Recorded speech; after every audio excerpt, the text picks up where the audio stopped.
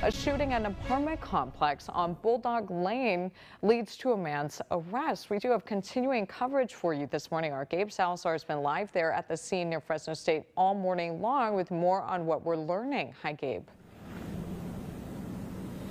Yeah, Megan, Fresno police say several shots were fired inside an apartment complex near Fresno State filled with college students. Several of those gunshots striking uh, several vehicles here, as you can see, about three uh, bullets striking this car here, as well as four to six bullets striking the exterior of this building. So, moments ago, a woman approached us saying that she actually knows a suspect who police detained. Now, she says that the suspect is actually her brother, that He's a student at Fresno City College and he does suffer from mental health issues.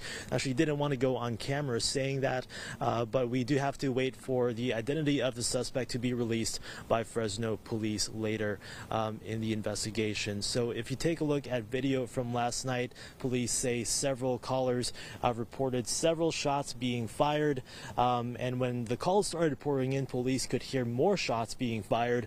Officers were able to find a 29 year old man who matched the description of the suspect, and he was later detained. The good news is here that uh, fortunately no one was injured in this shooting, and the suspect was detained without incident. As soon as we have more updates, we'll be sure to give you that live on our website, yourcentralvalley.com. For now, reporting live near Fresno State, Gabe Salazar, Megan, back to you. All right, Gabe, thank you for that update there. And video released at a press conference shows a suspect caught on video apparently trying to convince Clovis police officers to open fire. The suspect, 48-year-old Paul Morrison, in an hours-long